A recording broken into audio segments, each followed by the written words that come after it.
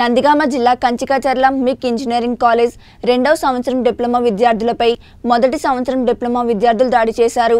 Hockey బ్యాట్లతో beer సీసాలతో దాడులు చేయడంతో ముగ్గురు విద్యార్థులకు తీవ్ర గాయాలయ్యాయి. వీరిని నందిగామ ప్రభుత్వ ఆసుపత్రికి తరలించారు.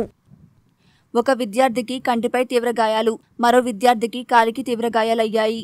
డిప్లొమా రెండవ సంవత్సరం చదువుతున్న కార్తిక్ అనే విద్యార్థి ఇన్స్టాగ్రామ్లో తన ఫోటో షేర్ చేసుకున్నాడు. ఫోటోకు అసభ్య పదజాలంతో కామెంట్ పెట్టడంతో ఈ వివాదం చెలరేగినట్లు తెలుస్తోంది. నా పేరు ఆంజనేయులు. నేను డిప్లొమా సెకండ్ ఇయర్ చదువుతున్నా మీ కాలేజ్ ఆఫ్ టెక్నాలజీ. నన్ను ఫస్ట్ ఇయర్ వాళ్ళు పది మందిని కుర్రాళ్ళు వేసుకొచ్చి హాకీ రాడ్డుతాను బీర్ సీసా పెట్టి అది కడియం పెట్టి కొట్టారు బాగా. కొట్టు ఖాళీ రీపోయింది నాది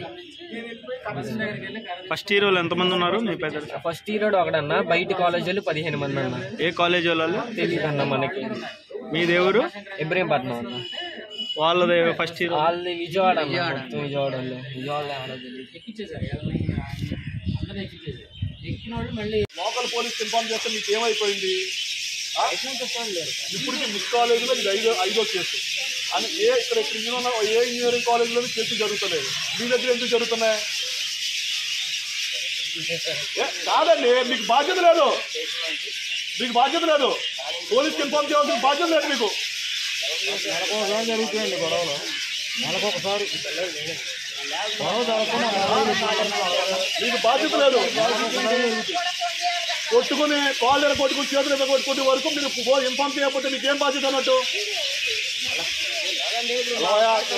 మర్యాదగా మాట్లాడుతున్నాను మర్యాదగా తెచ్చుకో